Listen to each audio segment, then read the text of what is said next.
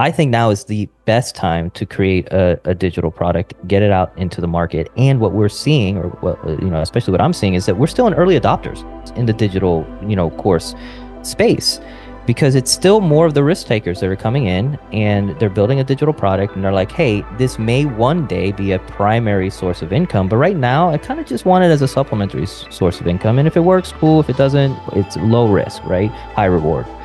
And that's going to end very soon right? They're saying right now that the instructional design space is a $300 billion market globally, annually, and they're saying it's going to hit a trillion in the next five years.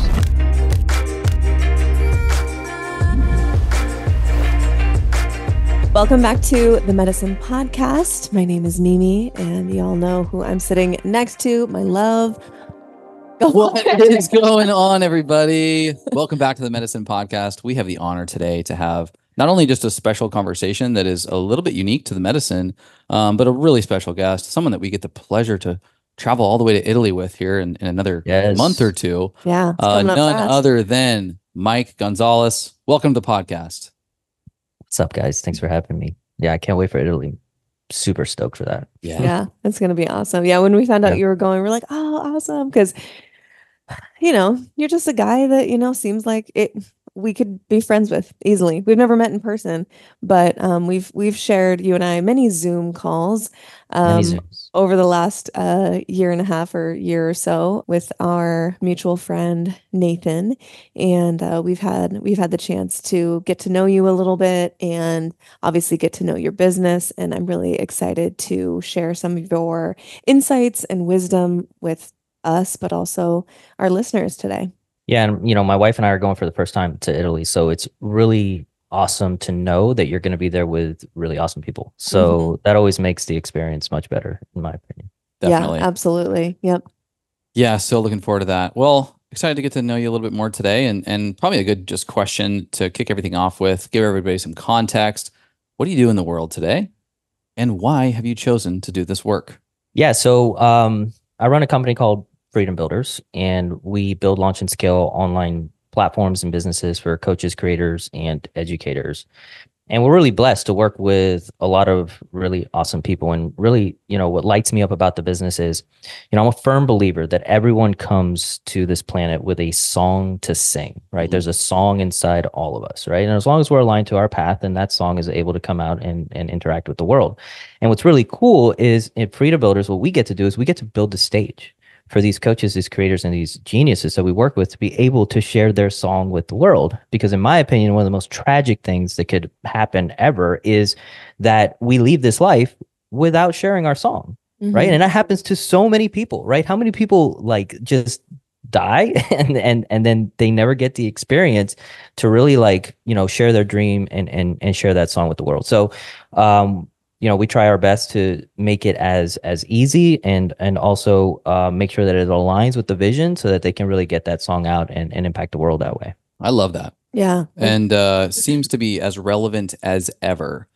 Can you let me know why coaches why educators and then why ultimately course creation? What was it for you that sparked that level of interest well, it's where I started. I mean, it's my own story. Um, you know, I think a lot of us are usually our first clients, right? Mm-hmm. And um, you know, being able to be in the trenches um, that a lot of these coaches and these creators are currently in. You know, to to be in those trenches myself in the past allows me to really support them in a very intimate way because I understand what those trenches smell like, taste like, look like, feel like you know, but more importantly, like I have a, a path out of them, right? Um, I'm not saying it is the path, but it is a path out of those trenches. And I'm a firm believer, like to be a coach, you don't have to be a master. You just have to be further down the road than someone, right?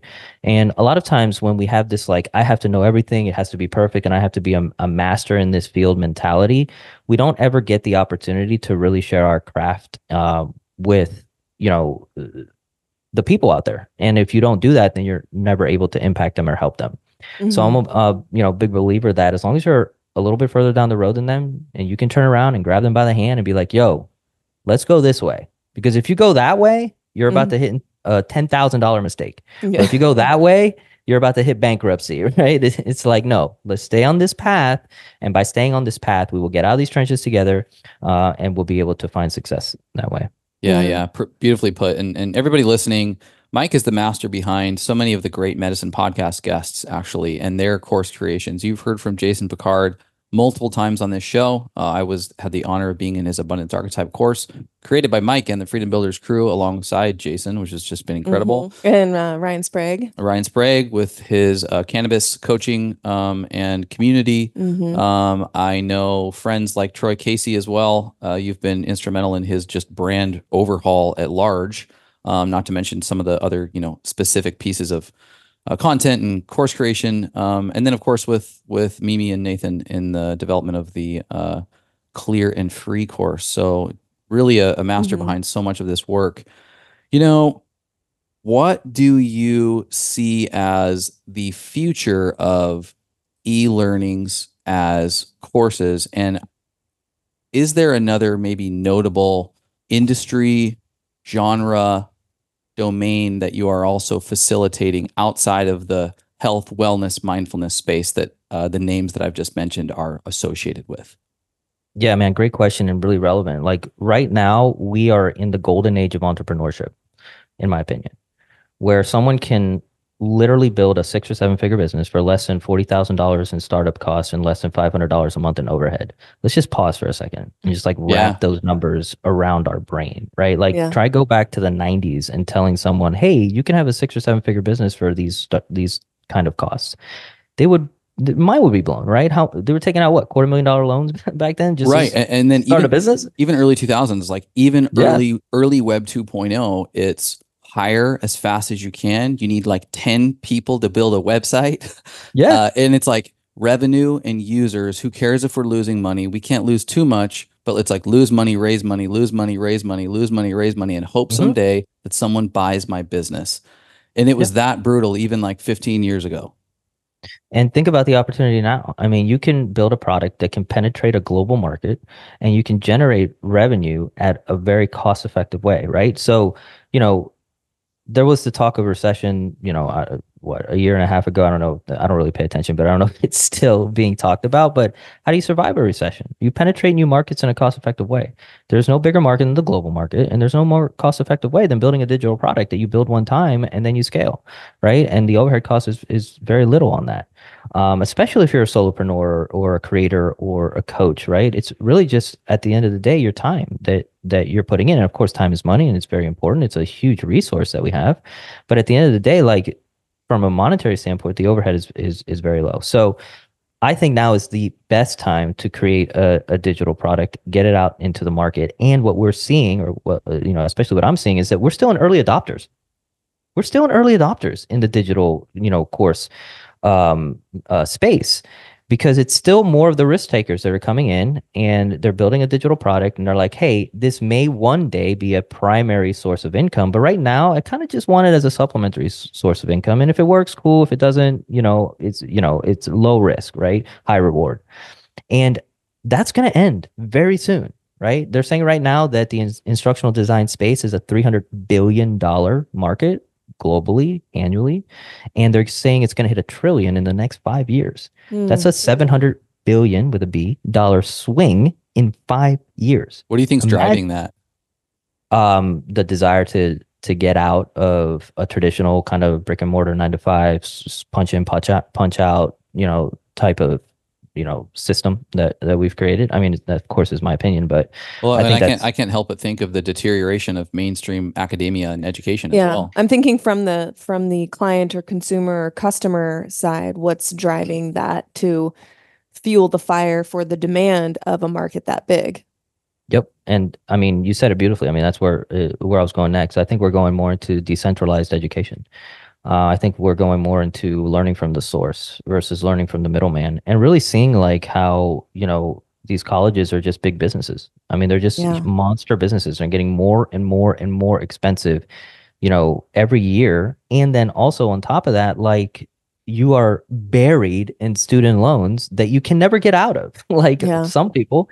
yeah So, you know, imagine learning physics straight from Einstein versus like having to pay someone hundreds of thousands of dollars to learn, you know, physics, right? So, I think we're going more to of uh, like an apprenticeship model where you're learning f- directly from a mentor and then you take that knowledge and then you can spread that knowledge um, throughout the world and you get stamped with their approval and now you get to assume their authority right? And that's huge. That's why people go to college. It's like i have a stamp that says harvard that means you know I went through a certain process that allows me to ask for this much money because now I have Harvard's authority assumed onto me. Mm-hmm. But I think it's going to go into more of that individualized, more mentorship apprenticeship model where you can also stamp that up uh, authority uh, onto your process, your educational process. In this little cup, I have my favorite way to enjoy mushy love, which is in combination with cold milk. We drink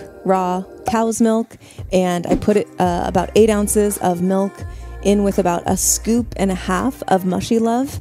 That combination, like the cold version of mushy love, tastes like liquid graham crackers. Like I shit you not. If you don't know yet what mushy love is, it's our mushroom elixir with 500 milligrams of chaga, which is amazing for gut support. They call it the king of mushrooms. And then 500 milligrams as well of tremella mushroom, which is the beauty mushroom. And she is most known for holding 500 times her weight in water. The more hydrated we are, the more plump and dewy and fresh and young our skin looks. Mm, plump and dewy. For Mushy Love, go to getmushylove.com and you can use the code medicine for a nice little discount that we only give to our medicine podcast listeners. Yeah. Mm. Yeah.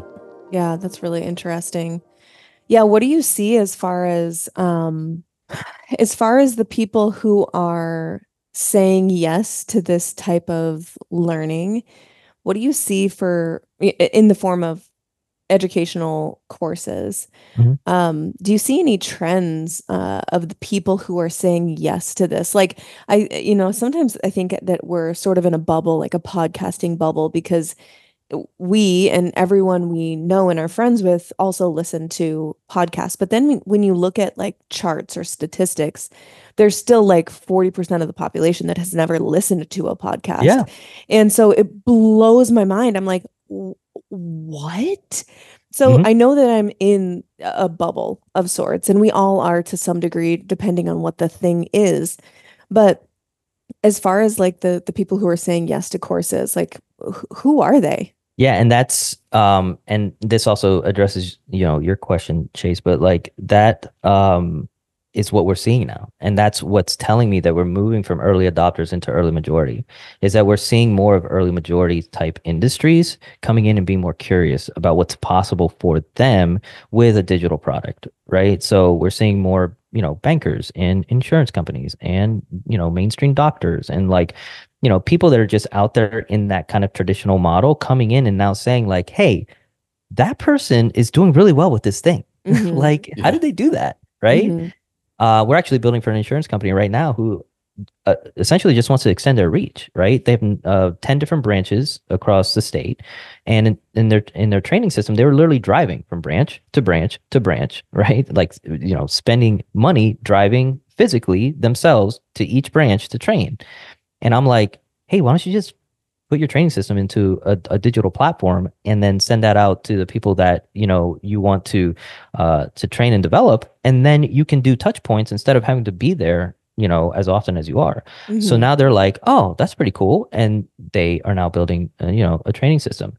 But then also the actual owner of the insurance company is building his own digital product on the side that he wants to sell that you know encapsulates his ip and his educational material on teaching people how to do what build insurance companies. Mm-hmm. So now if you're an aspiring person or entrepreneur that wants to get into the insurance space, but you have no idea what you're doing, you can learn from someone who is almost a nine figure earner in the insurance space. It's like, you know, imagine learning step by step directly from them. Like it's just follow this blueprint and you'll avoid tens of thousands of dollars worth of mistakes that I learned the hard way.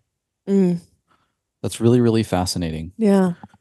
Are there currently, and this is just my own uh, you know, ignorant question because the first thing that comes up to me is like, all right, where's the catalog of e-learnings and courses? Where's the place that I can go to type in how do I start an insurance company? Which does not sound interesting to me. But let's say something uh, maybe a little more interesting, like how say we buy an actual brick and mortar home someday and we've got some, you know, chore like handyman 101. I Yeah. I could go ask my father or fly him down and, you know, probably have him show me a few things that he probably should have showed me when I was a kid. Um, but nonetheless, maybe he could show me now. However, maybe I could find it and I would go to YouTube now and Yeah. look for such things. And there are there are enough of those out there that would be helpful. There's also a lot of trash. But where currently would there be like or and maybe this is still white space, a catalog of what's Mhm. available. You know, you got the skill shares of the world that are, Mhm. you know, you might get learning from like uh uh, you know, what's the famous guy from like the 90s? The guy named Bob. He did like the house building, uh, Bob Vila or something. Oh, Anyway, Yeah, the happy little trees guy. yeah. Um, anyway, let's say you could take a course from Tim Allen on how to improve like your, your home, right? Oh, Um, got you. And you can find something like that on Skillshare where you're learning from a celebrity, but half the time, you know, those folks actually really don't know the the skill. But Yeah. where is the catalog if someone was to say, I want to go learn XYZ and I don't want to necessarily go to YouTube? How do I find this? It doesn't exist in the way that you're describing it yet, Yeah. but I'm working on it. Cool. Uh, well, great idea. That's been a bit, well, dude, that's been a vision of mine for like the last, I'd say, two and a half to three years. And, you know, this is something that just came back into form because you guys know Enlifted, right? Mark and Yeah. Kimberly. Yeah. Yeah. All right, cool. So we have a, co- a collaborative program with them called Business Breakthrough University, right? It's our Done With You program. It's a little different than our Done For You. So Mark comes in and he does the mindset portion of, of that program, but they reinvented the Enlifted tech to be specific to business challenges. So it's like imposter syndrome that comes in specifically of building a business or money stories that come in specifically to sales or, you know, business related things like that. Right. And then we come in and we do what we call the reels, right? So Enlifted is the feels and we're the, we're the reels. And then we give them all of the business building tools within that program.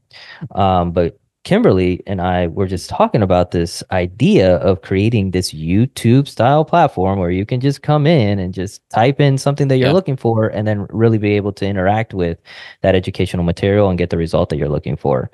Um, and it was crazy because she had brought it up just out of the blue and um, I had been talking about, I've been talking about it for years wanting to create that. Um, so anyway, to answer your question, coming soon. Love that. Love that. Okay. I, I'm going to have a million questions for you today. This is so fun for me. Let's go. What do you say to the person, myself included, who says, Thank you. I don't need another coach right now. And I don't need another course. I've taken many. And in Mhm. fact, in this last year, I've said to myself, because it's very tempting, no more courses, Chase. And it, I've had to say no to people that I love. J- uh, I took Jason's course last year, which was kind of the the cap on a good five to seven year run on taking a lot of courses. Mhm. And I had to say no to his brother Jared. I've said no to a couple others in our space um, because I really feel like I need a breath to integrate some of my learnings. And I get the pseudo feeling of progress, learning, and growth by continuing to take the courses, take the notes, do the homework, go to the group calls, use my voice, but I'm never embodying it. It's not like setting into my actual, you know, nervous system and physicality. And so this year, I was like, man, I need to just to like s- stretch this out a little bit so that I can integrate. What would Yeah. you say to those folks, or even just folks who are maybe a little more snarky and less thought out about, no thanks. I, I get bombarded with, you know, coaching, uh, sales gimmicks or calls on Instagram all the time, and I'm just a little bit fatigued. Yeah, I'd say what are you looking for then? Right? There's there's really there's two types of consumers, right? There are the people that love to consume education just to consume education. And then there's the people that love to consume education and apply the education, right? So if you're the consumer who has a certain result or goal in mind and you're looking for an educational process that can where you can essentially, you know, pay for speed, right? You can take someone else's and and model you know what they did so that you can create that result faster and more efficiently then i would say getting into a course so you can make that happen could be super beneficial right? But if you're someone that really just kind of just like doesn't really know what they want to do doesn't have a goal in mind it's it's basically like you know if you told um if you told mimi it's like hey mimi we're gonna we're gonna go out to eat. And then you like got in your car and you guys just like just had no clue where you wanted to eat and you guys would be driving around forever because it's like no destination in mind right Mhm. so yeah, you just be driving around spending gas. And you know, because you have no destination. So first we get to discover what is the end goal here? Like what do I want to create in my life? What is the vision for my life? And once you get that dialed in, then it's basically like go find someone who has created the same exact vision that I want to create and let me go learn from them. Mm-hmm. That's what I did at the beginning, right? So, you know, a little bit about my background and my story. Like I started from, well, I started in corporate restaurants and then I moved into the fitness space. Mm. But I didn't really know what I was doing. Like I just had a passion for working out. So what I did is I went to one of the best trainers in our area and I said, "Hey, would it be cool if I paid you money to follow you around for like a year and a half? Would you be okay with that?" She's like, "Just follow me around? You're Like you're just going to pay me to follow me around?" And I'm like, yeah, I just want to learn what you're doing. I wow. want to like soak in every part of your technique and your process so that I can be good at what you do because I have a passion for being a fitness trainer. She's like, uh, yeah, I guess that's fine. just don't get in my way, bro.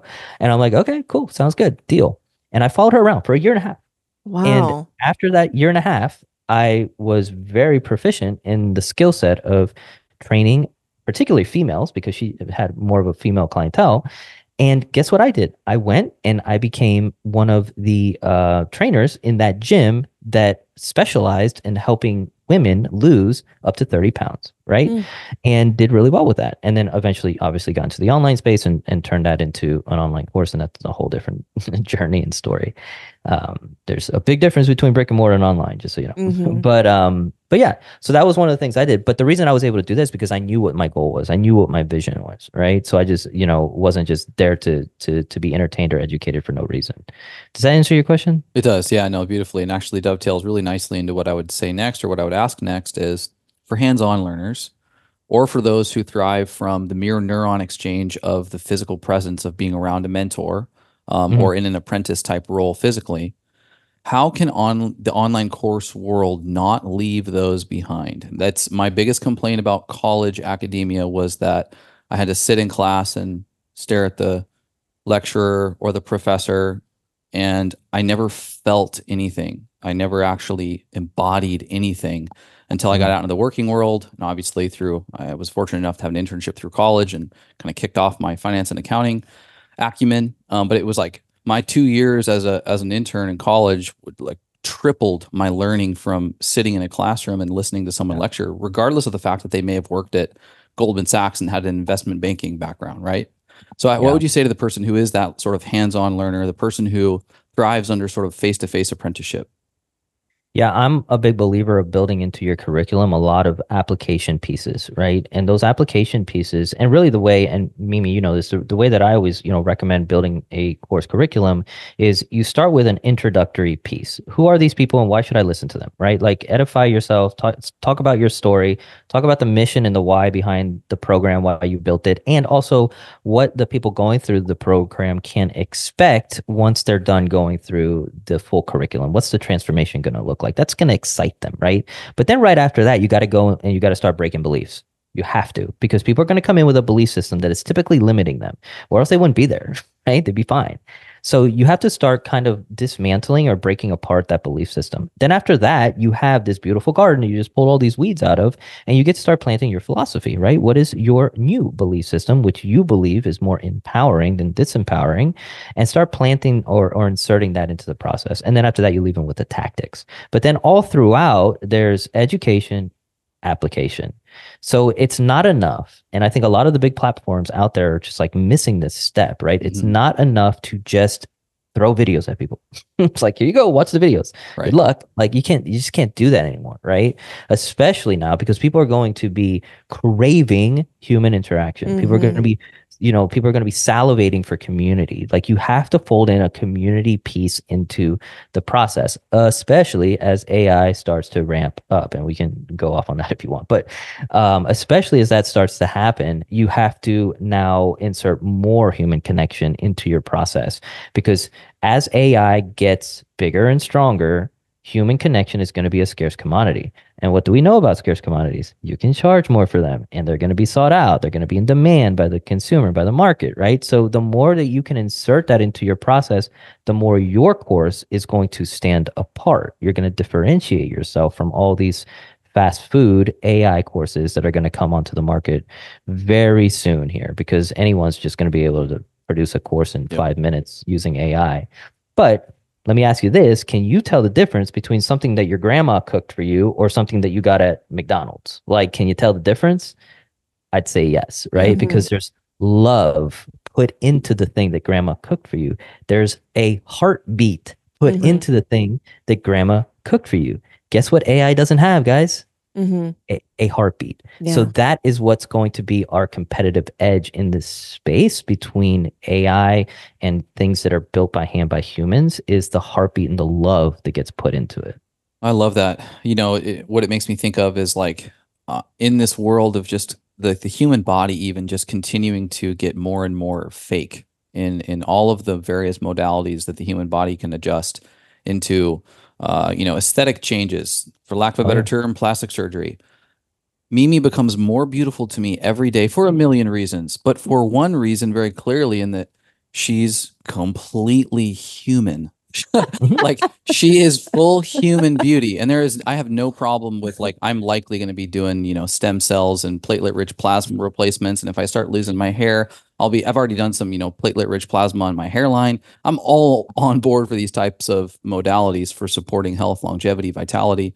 But then there's we all know like hunger games level uh you know human bodies that that walk around where you're like man i don't know what is going on but there's been a lot done and there's there's a beauty that like stands out from somebody who is just like so pure if you will not to sound like uh you know neoplatonistic or whatever Yeah. yeah. um but Natty baby. it's like it's almost as if those become more of a of a of a uniqueness to Yeah. Yes. to beauty and uh Yeah. I can't help but think that like maybe love handles actually become the sexually appetizing thing in like five years from now because it is the indication that someone is authentically Yeah. representing their own you know, innate beauty.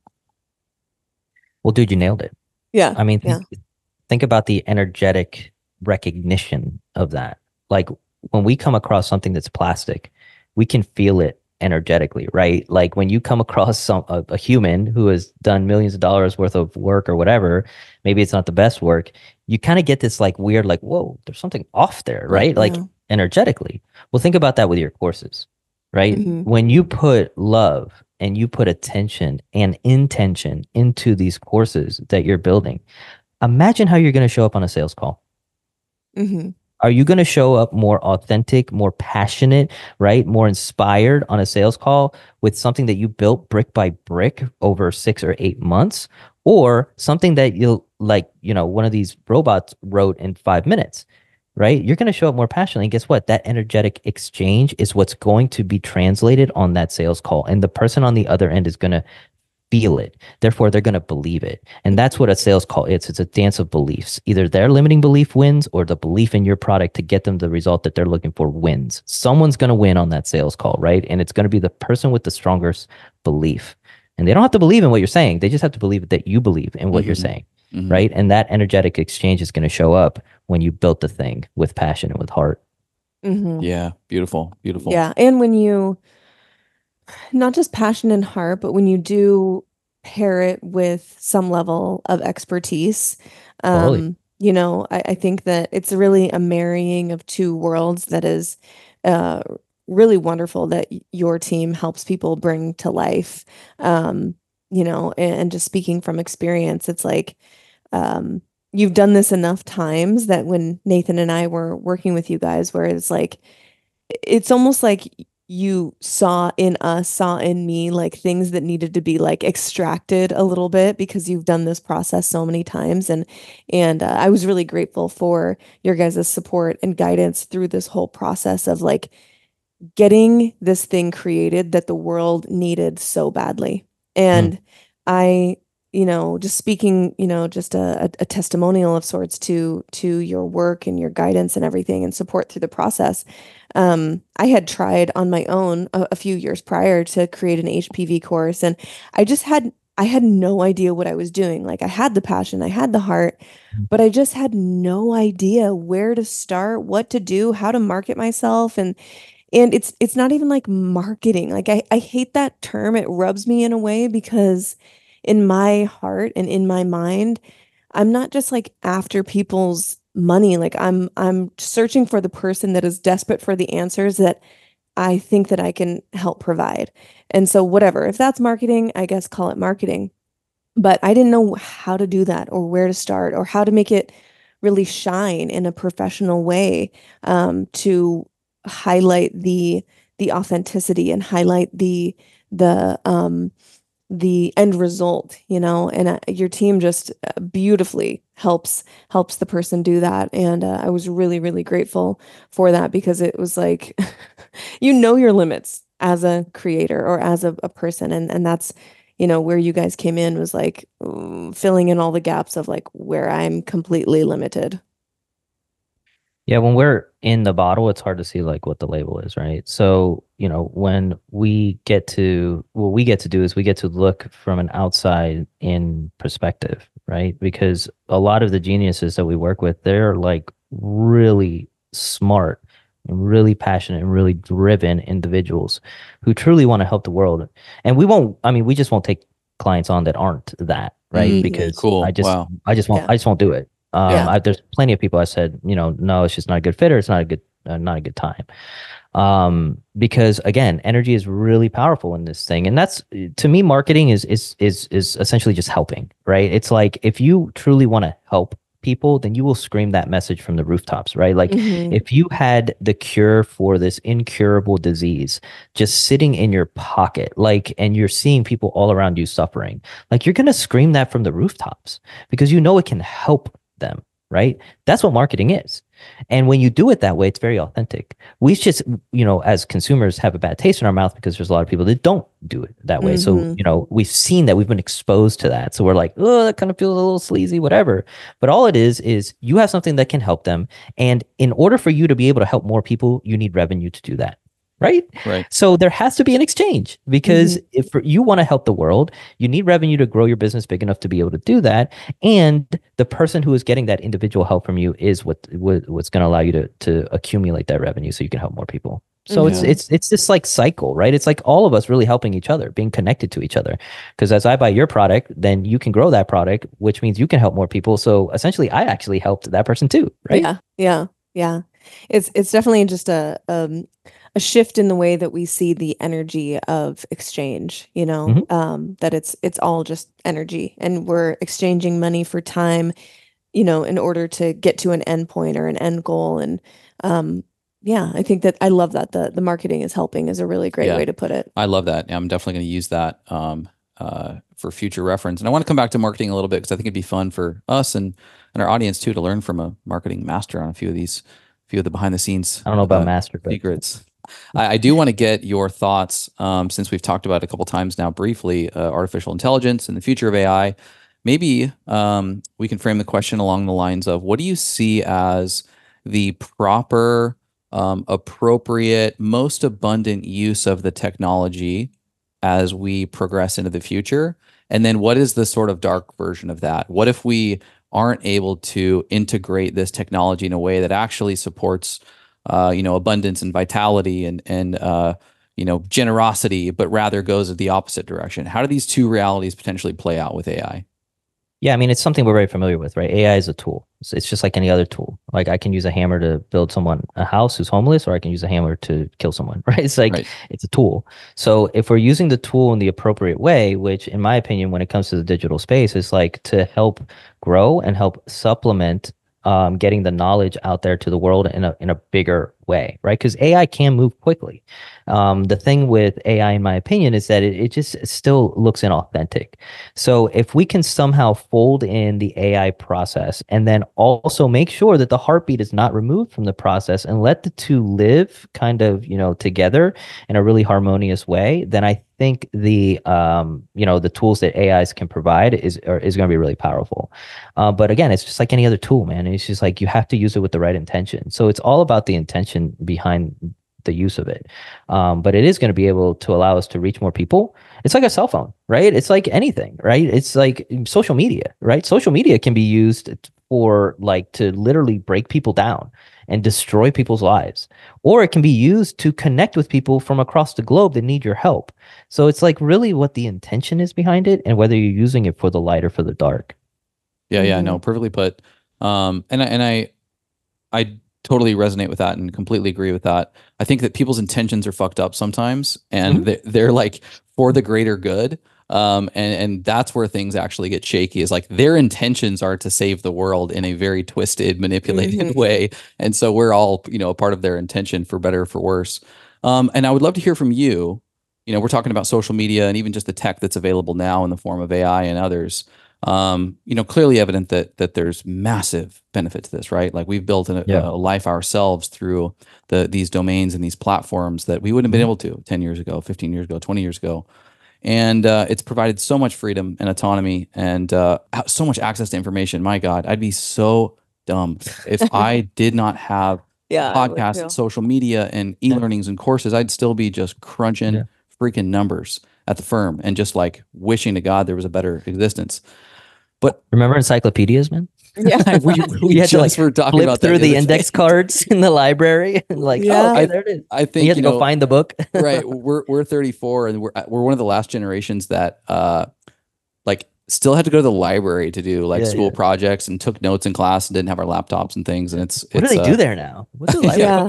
I know. I know. I think school, any, any one of us walking into a, a- a modern high school would be like, what is this? Yeah, yeah. know. or Crazy. classroom rather. But it but but on that note, because there's clearly these sort of like negative side effects as well, and, and there's a lot going on right now. I think we're really coming up on the the just beginning stages of awareness as it pertains to the toxicity of some of these technologies.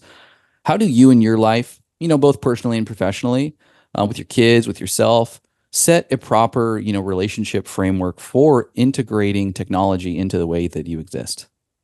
it's still a dance for me, just to be completely Yeah. transparent and honest. I mean, you know, we're in the middle of a of, of a growing business, and our business is primarily done online. I mean, ninety eight percent of our business is done online, and in order for me to be online, I have to be in front of screens. I have to be on my computer. I have to be on my phone. I'm very responsive to the clients. Like if Yeah. someone reaches Yeah. out to me, Dude, it's on- impressive. yeah and you know there's pros and cons to that right there, it's a dance i'm still trying to figure out like the balance right if i'm just being totally transparent with you um and my kids see me on my phone a lot right? So i have to kind of snap myself out of it and just literally put it down and you know really create that space and that boundary and treat it as if i'm navigating through multiple dojos in my life and literally just bow in and bow out of that dojo. And when i'm in that space this is what i'm doing. When i'm in this space this is what i'm doing. And it has to be a sacred space. It has to be non-negotiable right? Um and that's really what i'm trying you know continuing to learn and continuing to dance through but again it's a very very powerful tool that can help us do a lot of things um you know and it's what we still need to learn how to integrate into our Mhm. lives in a way that doesn't break us down or or or, or suck us dry Yeah. Yeah, yeah, I totally feel that. I and I can attest to like the your responsiveness because when we were working together, you know, I would send you a a message on Telegram and I see the little dots writing back literally like 45 seconds later and I'm like how is he doing this? Like he it's just like within seconds and um it was really impressive but also like I can see on the other side of it uh how you know with a family and and kids and everything how that would be like it, it could turn into like a rub later on down the road where it's like uh, I actually need to address this and and um but yeah it, it's it's hard when you make promises to clients that like yeah if you ever need me I'm there and you follow through on that it's like there's always like pros and cons Yeah, I mean, you know, just to speak to that, you know, I started in the fine dining space. I was in restaurant management for fine dining for, you know, 20 well, been restaurants for 20 years, fine dining Wow. for the for the, you know, most part. And what allowed me to really find a lot of success in Freedom Builderz, and we're word of mouth, by the way. Like we don't do a lot of advertising. We've done almost 120 build outs, either in in progress Wow. currently or completed in the last, you know, three years. And it's 98% of it has been word of mouth. Yeah. So the reason that we're able to grow is because, you know, there's a concept in business called chunking laterally. Um, and I took a lot of the concepts that I learned in fine dining in restaurants and I brought it into the online space. And the reason that I was able to find so much success is because there's so many people right now in the online space that are promising unicorns and delivering donkeys.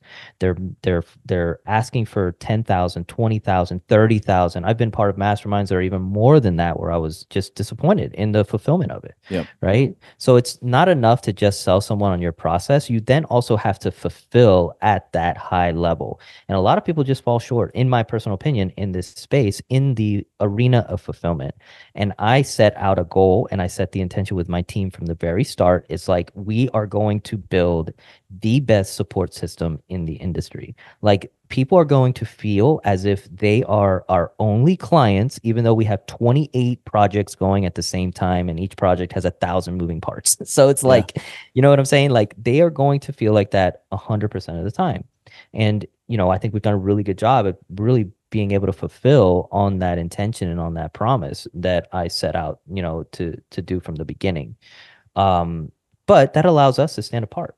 That mm-hmm. allows us to differentiate ourselves. And the space actually made it very easy. like it's like all the people out there's like make a hundred thousand dollars in two weeks or whatever. Oh my like, god, yeah. You know yeah. what I mean? Like whatever it is, make a million dollars and it's like you're building a business. Building a business takes time. Yeah. It takes time. We can give you the strategies. We can give you all the, the parts. We literally do it for our clients. But at the end of the day, like if you don't insert the time variable into your business, what that causes you to do is to stop talking about your product.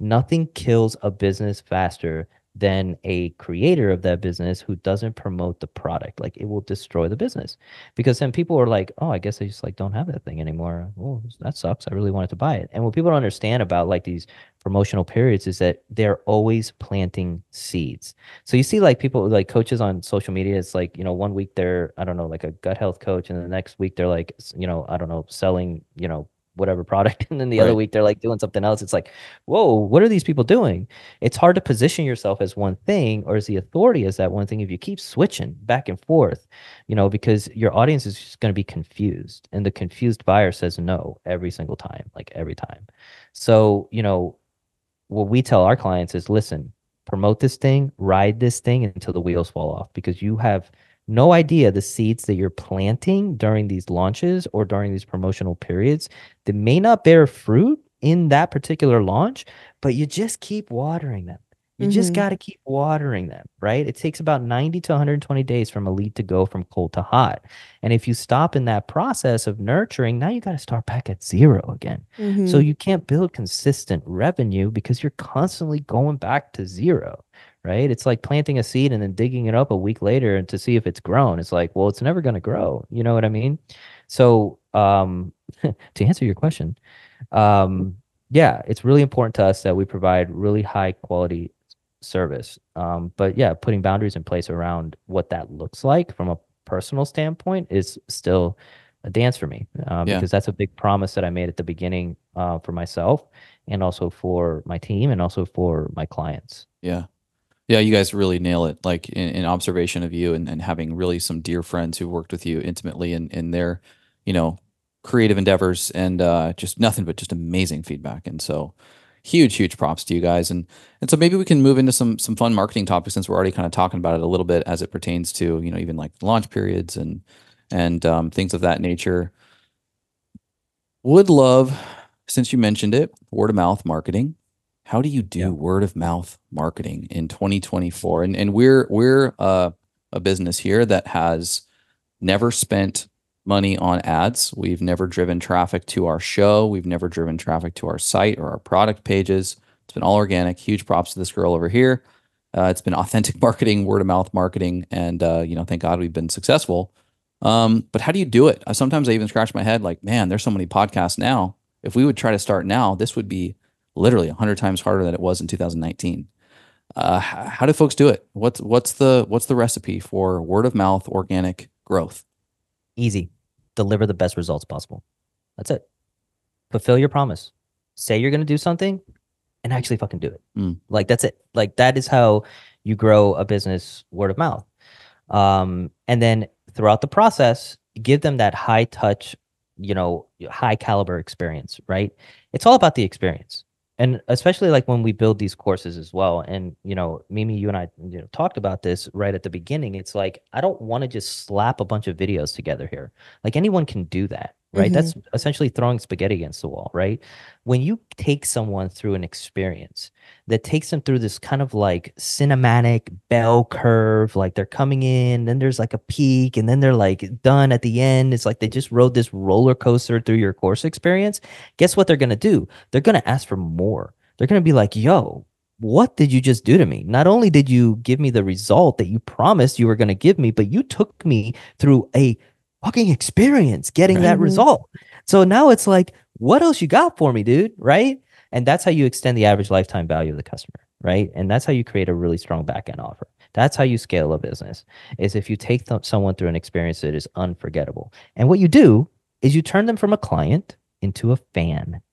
And fans are how you grow word of mouth because fans are mission driven. They will recruit other people to the mission for you because they are fanatical about your mission.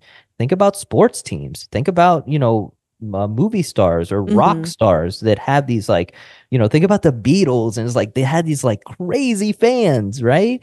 They didn't have to do Facebook ads or whatever. Like, right. no, they people were just like, there's a million people that are going nuts for this band or for this sports team. Like, I'm at least curious to find out what they're doing. Like, they got to be doing something. And guess what? Curiosity leads to conversations, and conversations lead to conversions. Those are the three C's of building a business. Yeah. Well, yeah. I nailed it, man. That's that's so interesting and, and fascinating.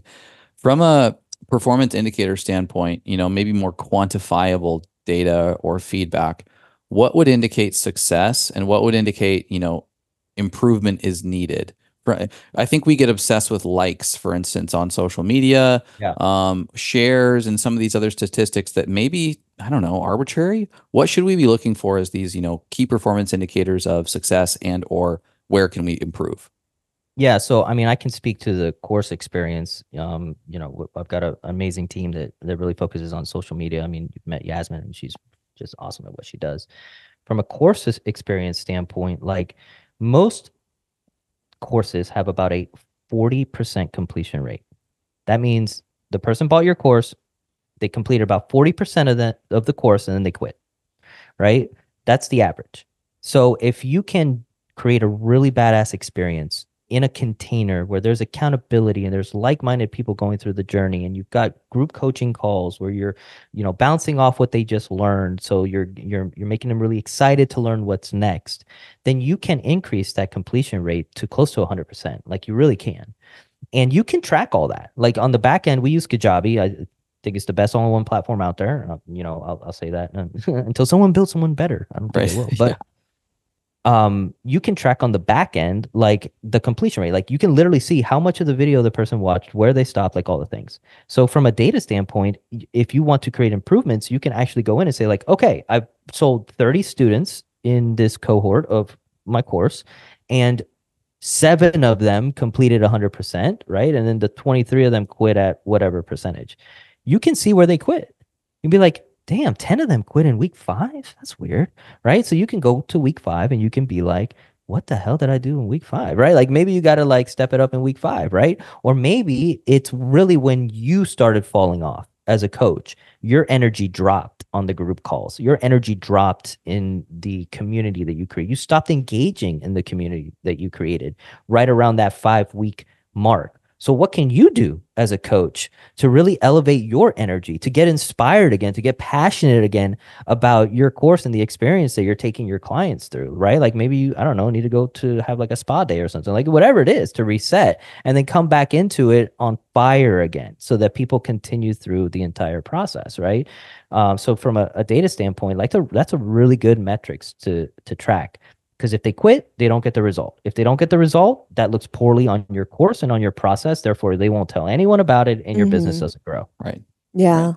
Yeah. I also wonder if there is something else to the to the phenomena of someone not finishing a course because we've all been there. Um, I, I certainly have. And at the beginning it's super gung ho, you're super excited about it and you're like all in. Of course, you just dropped hundreds or maybe thousands of dollars on this specific course. You're like, I'm all in. And then life Oh, yeah. happens where you, you you get busy or you're like oh i'll do that tomorrow or i'll get back and do it tomorrow or now you have a kid or you something changes in your life and i think that there are definitely outside circumstances that can that can impact someone's like fervor um and so i'm i'm wondering if there's like how do how do you as the as the coach or the the educator inspire people to like continue on even if it's not a reflection of your work necessarily but just like life happening you know Yeah. um cuz I've been there too and it's like I have all these like amazing intentions and then I don't know something something drops Yeah, I mean, you know, what you're saying is super relevant. And what we get to remember is that we're dealing, we're not dealing, we're supporting Mhm. human beings. yeah And human beings come with a lot of stuff. mhm, They come with a lot of life, right? And you know, you get to really evaluate like, hey, what could I have done? I'm always living at cause. I'm always going to say it's on me. There's something I could have done, there's something I could have looked at. You know, this is on me to take a look at and see what I can shift. That's just kind of my mentality, right? But at the end of the day, like people are going to come with limiting beliefs. People are going to mm-hmm. come with self-sabotaging tendencies. They're going to come in with that and they're going to come in at the beginning very gun ho. They're going to come in at the beginning wanting to to create that transformation. But you have to remember the reason that they're there is because there is something off and something broken in the world. And a lot of times, people that are, are have a lot that's off and a lot that's broken in their world, you know, they're searching for the answer outside of themselves. And when you push the cause or the blame outside of yourself, it's hard to surpass it, right? Because now you're not in control of it. So we as coaches get to really redirect that energy back and have them look introspectively to see what is there that we can work on, we can support with so that they can push all the way through. And you can't save anyone from their own apocalypse. You just can't. It's not possible. I can give you 49%. And 49% is everything I've got, right? I mean, Mimi, you've worked with me. You know, like I will give you everything that I've got, but you have to give me 51%. mhm. You have to want it more than me, Yeah, or yeah. else it will Mhm. not work no matter how much I give you.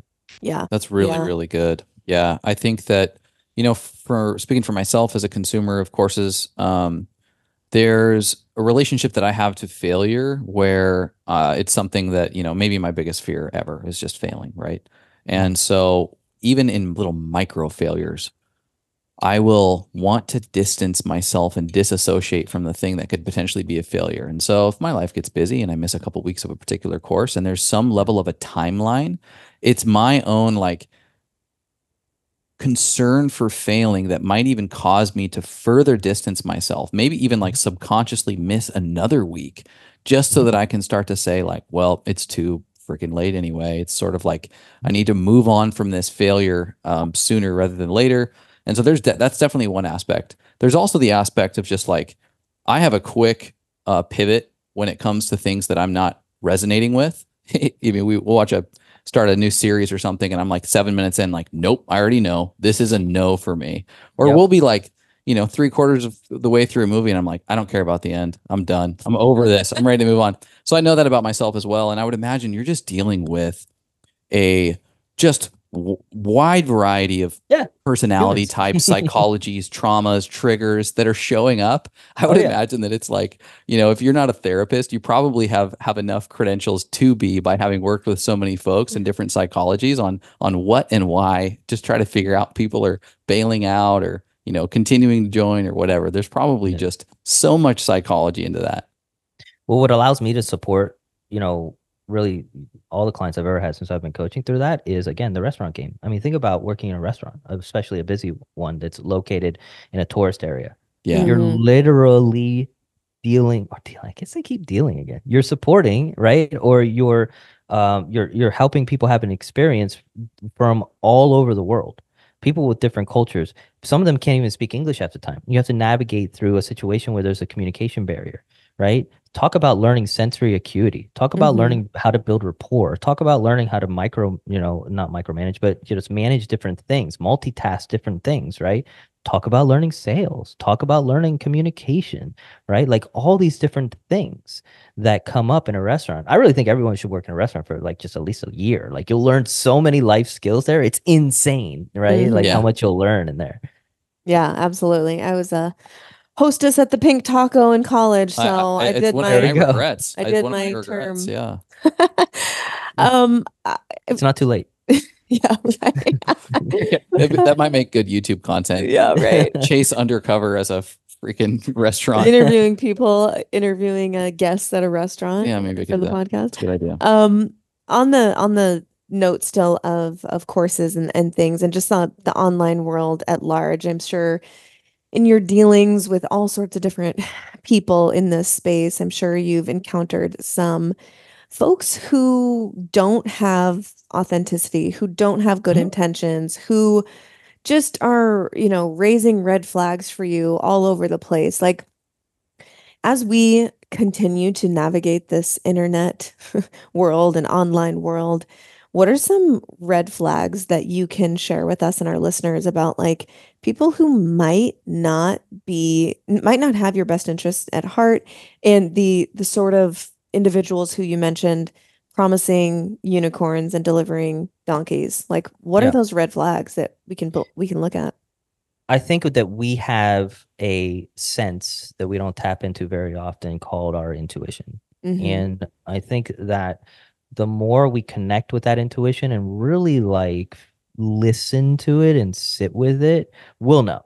Like we'll know if someone is inauthentic or not, right? Just from kind of like that energetic standpoint. Now, from a tactical standpoint, what have they built? Who have they helped? Ask for that, like ask for those results. Ask to speak to the people that they've worked with, right? In this space there's so many people out there that are boasting all these different things right? I'll teach you how to be an entrepreneur. I'll teach you how to make whatever in a month right? Like i'll teach you how to do all these things. Like okay cool.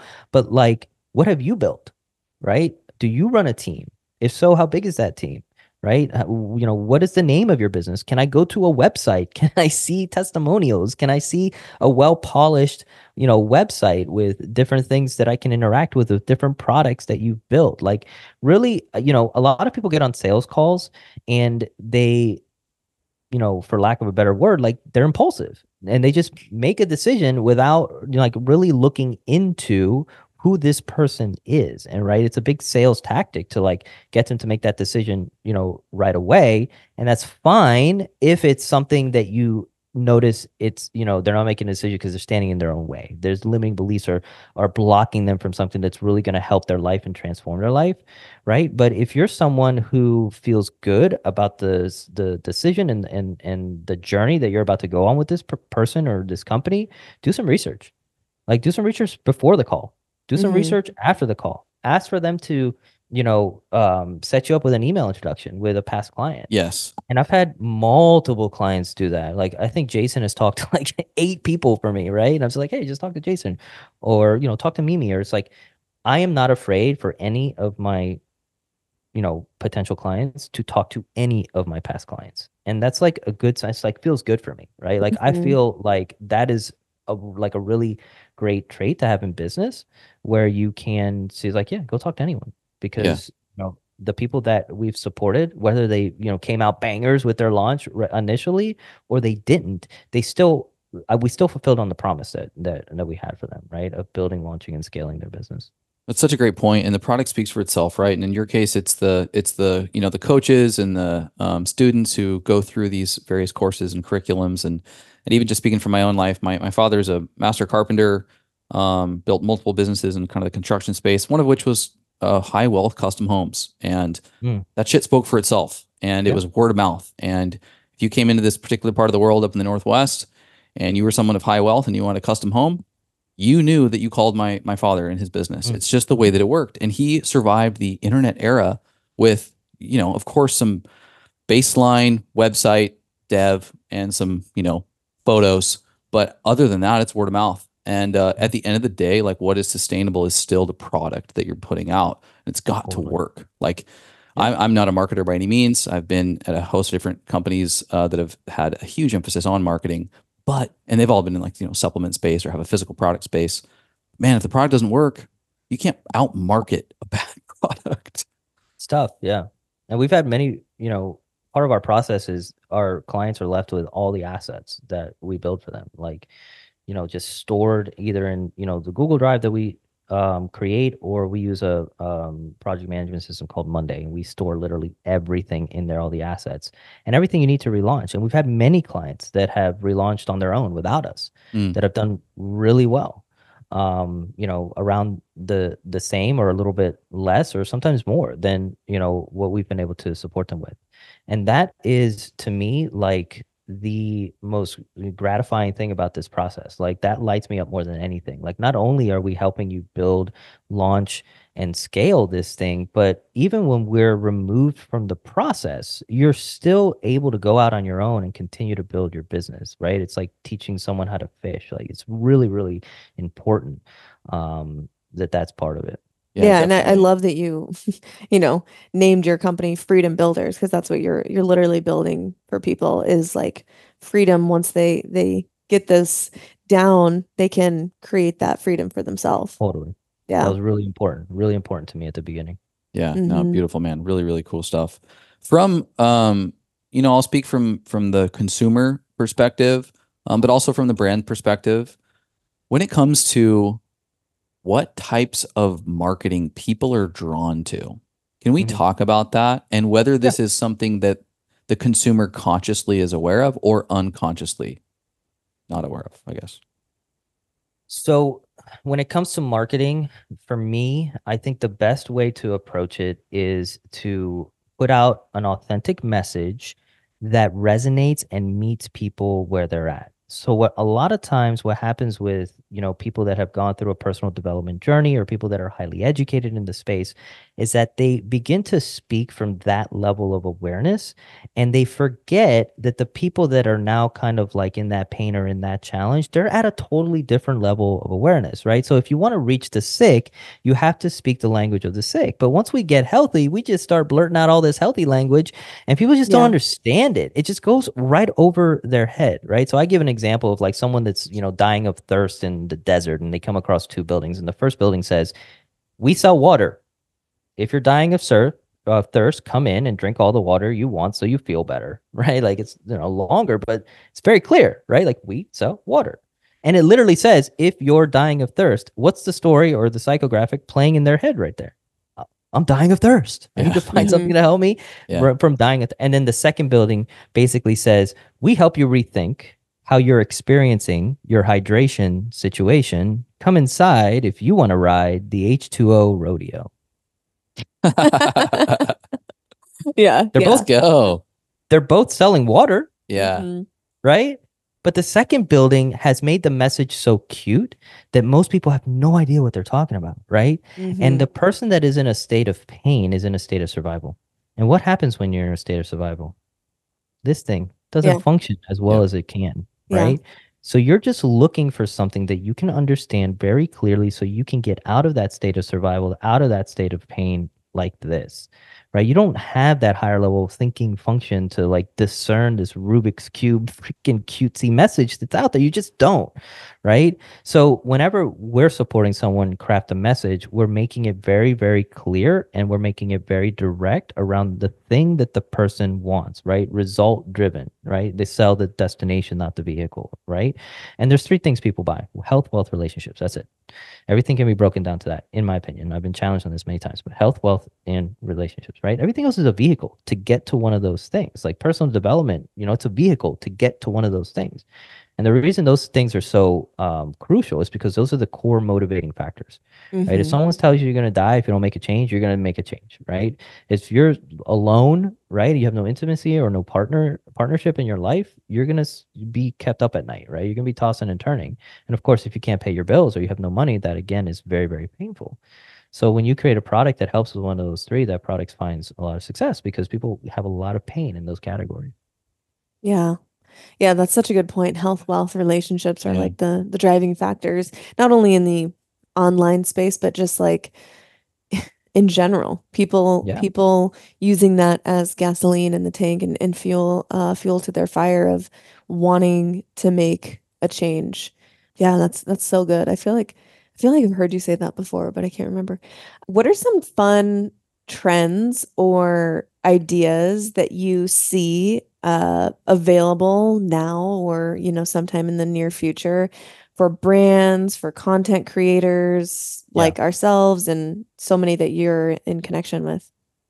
Yeah, so um, you know, again, Yasmin is the authority on, you know, brand and and social media related stuff. But uh, in the way of courses, I'll say the more you can gamify a course these days, the more intriguing and engaging that course Mm. becomes. So we've actually gone with different courses um, that we're um, building out right now. We've actually like created little badges for like each level that the person reaches. So they like get a new badge or they just get a new experience.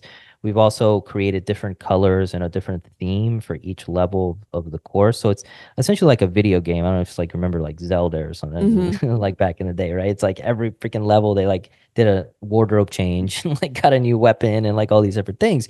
But what kept you very engaged in that game is because you wanted to acquire this new thing. Like you wanted to learn what was around the corner, right? Like, what am I going to be dressed as? What weapon am I going to have next? So it's the same thing with these courses. Like, you can really take someone from, you know, then you know one step to the next step and you can do it in a really fun uh, and gamified way and at the end if they leave with a certification which by the way is the most lucrative model in the space is a certification model right? So at the end if they leave with a certification now they can teach that same method to other people around the world. And again they feel like they have been stamped by that like uh, um, authority or, or approval from from that coach. Um, So Mhm. that's a cool thing that that we're seeing um, come up and, and emerge, you know, more in courses.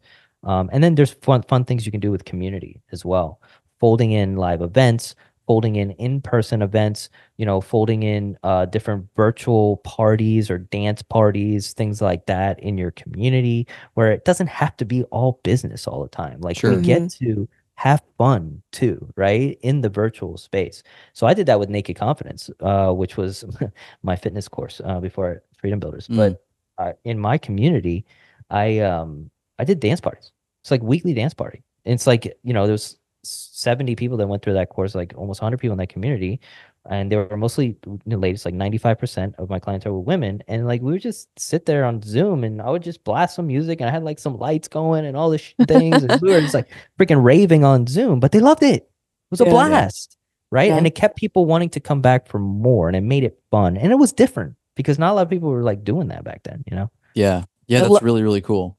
Uh, side note, I love that name, Naked Confidence. Yeah, like that's you know rad. immediately. Like It's a, it's a name that sells. that is absolutely like everyone knows. that was the fir- that was one of the first what was the first course that actually made money because I finally refined my message, which is why I'm such a believer in messaging. Before that, I was selling mindset in the fitness game. And I had this like cutesy line that said, like, changing the body is easy. Becoming the person who does the things to change the body, that's the tough part. Mhm. And that's not fitness, that's identity. You have to Mm. step into the person you want to become in order to lose the weight. And I was like screaming this from the rooftops, and people are like, bro, I don't know what the fuck you're talking about, bro. Like, what does that even mean? Yeah. So they were just buying courses from the people that said, hey, I'm just going to help you lose weight. yeah. So that's what I changed my message to. I said, Mhm. does anyone want to lose 90 pounds in 30 days? I will help you lose 90 pounds in 30 days.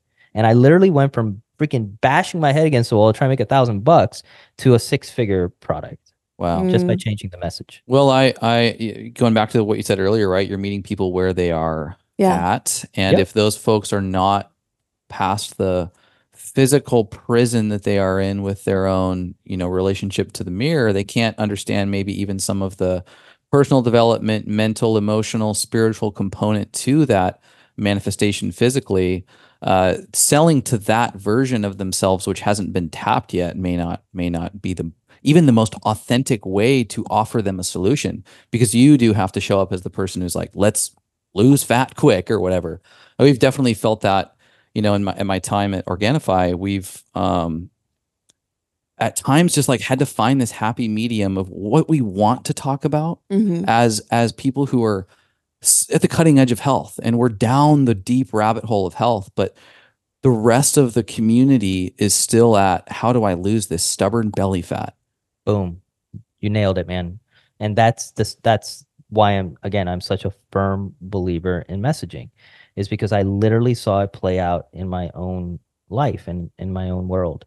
And they're just not there yet. And the people that are at that higher level of awareness, a lot of times they just don't need your product or service. So they're not going to buy from you. So it's like because they're already developed at that level of of awareness. So when you speak to the people at you know where they're at, those are the people that are typically in the challenge, they're in the pain and they need the result of of your product. And by the way, I didn't change much in the course. Like that naked confidence course was primarily a mindset course mm. with some movements and some nutritional guidance, but it was primarily a mindset course. But I didn't market it that way. I marketed it as the thing that they actually wanted. And then when they came into the course experience, they were like, bro, I thought I was getting this, but you gave me so much more. Yeah. And then guess what they did? They started telling their friends about it dance parties and mindset that I've never been exposed to and my life is changing and I don't even know what this dude is doing. This is like doesn't exist out there. You got to try it. Like because now it was differentiated in the marketplace. Yeah, no, that's a really great point. And even in the abundance archetype course that I've been a part of for, you know, coming up in a year now, with Jason and with the fact that it's called abundance archetype, you would expect like awesome Wall Street trader. We're going to learn all the secrets and we're going to be millionaires by the time we're done with this thing. And obviously, I know Jason well enough to know that you know this is going to be much more upstream, right? Mm-hmm. And uh, the, this turned into the most. I just did a live with him about some of the feedback in the last year, but the course is incredible. The content's amazing. So much application, so much you know hands-on, integrative, like really, really physical as much as it is digital. Yep. Um, but then there's this component of the community, and it's twice yep. a week we're getting together. Some of them for just you know very open, candid, honest conversations of connection with other you know students um, and then other times it's like Jason's, we're doing like live podcasts essentially. We're bringing on these really, really incredible guests, these, these diamonds, these untapped gems in the world of wellness and vitality and wealth. And all of these things are upstream to making money, right? It's like, it's so beyond like just a transactional experience of of you know creating more abundance in your life. And so uh, to speaking to your point like i think that was kind of the the door right? The front of the house looked a particular way but when you stepped in it was so much more psychological and spiritual emotional. Well and i don't think he would mind me sharing this but like jason wanted to go full just full spiritual course. Mm. and i and i'm you know i'm a big part of the you know conceptualizing these courses and what they look like like when you hire on freedom builderz like we literally come in as an extension of your business and we mm-hmm. are where we are there with you literally every step of the way and you can bounce questions off me and i'm not just going to let you build something that's not going to find success right so at the beginning i you know i share with him like hey man you're a former wall street trader who uh, you know managed billion dollar portfolios and just made a lot of money in your life like you know that is where you have authority like we want to position this thing where people get yeah. to learn that they get to interact with the wealth part or the abundance part of this like unlocking that abundance archetype like you know what i mean like yep. we want to to position it as that and then also when they come in they're going to get so much more because that's just who jason is right. i mean trying to refine all of jason picard's knowledge into no a course like it was an undertaking. Yeah. But it turned out it turned out beautiful, man. It's, it's beautiful. A, it's it's so... one of the most comprehensive courses I've ever I've ever built, and that community is the best community that I've that I've ever uh, interacted with. So he he he's crushed it. He's it's like great. production value is like surpassing all Netflix and Hulu combined. Like it's really really incredible. Well well done. It's it's yeah, it's such an experience and um for what is offered, wildly affordable. I I will be I the tell that all the time. Bro. Advocate, like, advocate for that course. Um, we're having him on actually tomorrow to to chat through it a third time because I'm I'm just such nice. an advocate for it. Um, you know, one more question for me, and that is, you have this this really unique perspective in the sense that you are seeing what people are are interested in um, in a really unique way. And obviously, you're talking your background's in coaching and, and health and wellness and there god there's a huge demand for that right there's there's this alternative health space that is massive why because the mainstream health space is fucked it's mm-hmm. completely broken and so what else like that one's clear to me right what else are people asking for? What other systems are broken that people are looking for these alternative mechanisms for learning? And, and you know, f- maybe it's finances, right? Maybe the economy is has pushed people into this domain of like, fuck it, I can't make money going following the script of life, savings account, checking, W 2 job, not working, still can't buy my house. What else is out there? What are you seeing from maybe like a, a, a interest from from the the students more so even than the teachers as far as what they're asking for what is deficient in their life yep it very much follows the three core motivating factors health wealth and relationships mm. medical system financial system and anything related to marriages divorces you know anything that helps find the love of you know the love of your life like how to manifest like, the man of my dreams yeah yeah there yeah dude, that would crush but like because that's what Seriously, like that's what yeah. people are, are are looking for, right? Again, people are looking outside of themselves. They're looking outside of themselves for what really they want is safety and significance, right? I want to yeah. feel safe and I want to feel significant, right? And they're looking outside of themselves or they're looking for a teacher or they're looking for a guru to do that for them.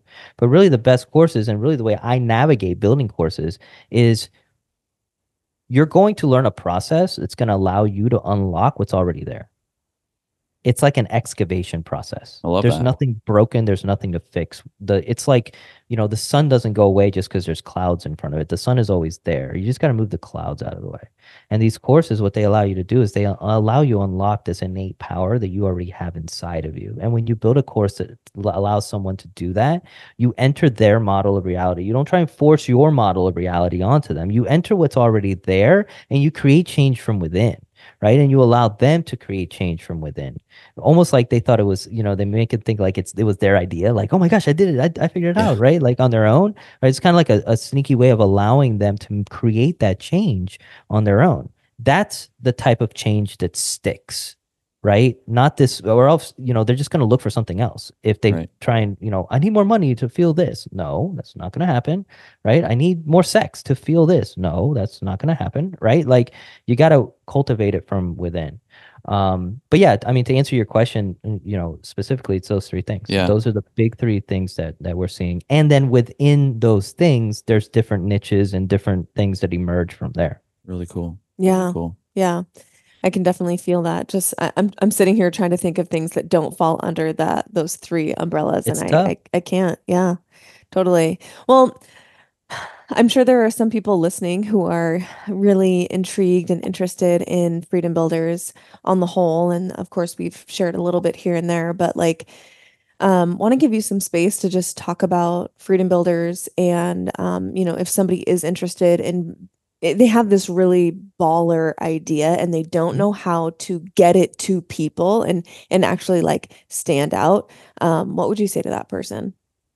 Yeah if again i would say you know i would end the same way i started like don't let that song die within you. Like do whatever it takes to get that song out to the world because that's some of the biggest regrets that people have mm-hmm. when they're you know on their deathbed or they're passing away it's like man i wish i would have followed my dreams more mm-hmm. i wish i would have worked less or aligned with my passions more right because at the end of the day it's all about like being in alignment with your path your dharma you know like being mm-hmm. in alignment with that right at the end of the day so um i would say that if you have an idea in your head and you want to get that idea out to the world but you just don't know what that looks like how to like conceptualize it from like the intangible to the tangible then reach out to me. Like this is one of my favorite things to do is to get on a call with someone who has a really cool idea in their head and at least just give them some tips some some value that they can use to get that idea out of their head and bring it into the world.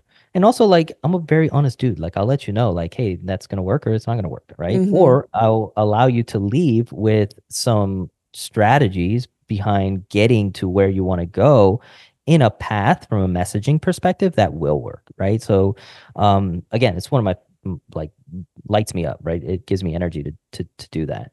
Um but yeah you know the the company as a whole uh, freedom builderz we're done for you service. So if you have that idea and you want to bring it to light we will i mean really do everything from conception to launch. Um and help you bring it to life. And that includes, you know, building out everything. I mean, even like what Jason did, we flew to him, we filmed that whole course with our crew, like all the things. Uh, and then brought that to life. Uh, and then everything from a sales and marketing perspective too. So your landing pages, your funnels, will write all your emails for you.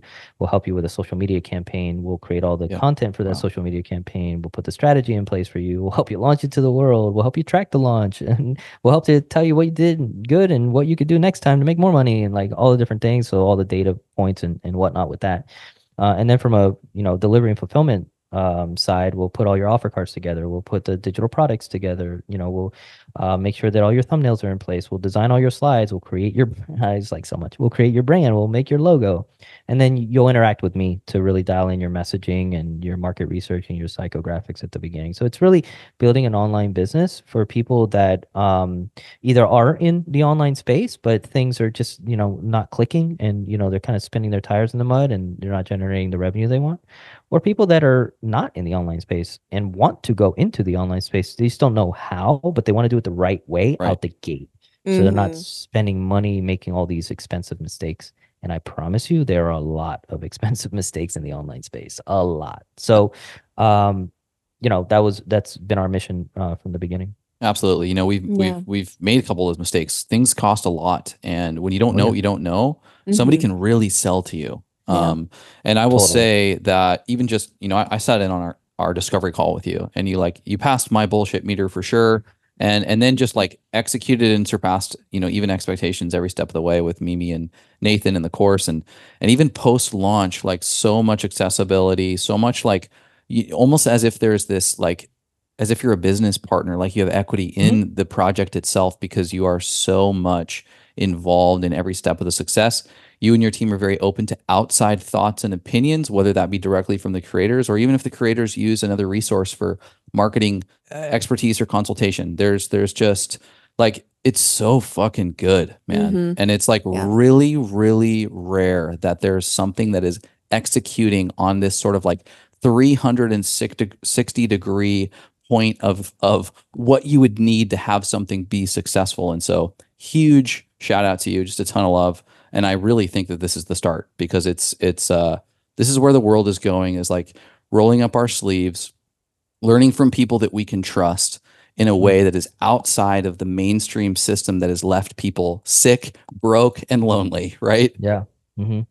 yeah man thank you so much for for that and you know that lights me up to hear that because that was that's been our mission from the start like we truly just want to see our clients win and that's not bullshit that it comes from very authentic place and you're right it mm-hmm. is it is like we have equity in the business but we don't like that's how i treat it like we are very much in partnership Yeah. on this journey together so yeah thank you man for that reflection Yeah. Yeah, yeah. I mean, I can't remember. I mean, so many times I walked out of calls with you or your team and was telling Chase, like, I I cannot believe everything that they're doing. Like it's just a it's, you know, been a 10 out of 10 experience. Like I I I had no idea it would be this deep. And it was something I was thinking of when you were describing um Freedom Builderz and and your mission is like someone who, who just has an idea. They don't have a they don't even have a name. They don't have a concept really of like what their brand is or whatever.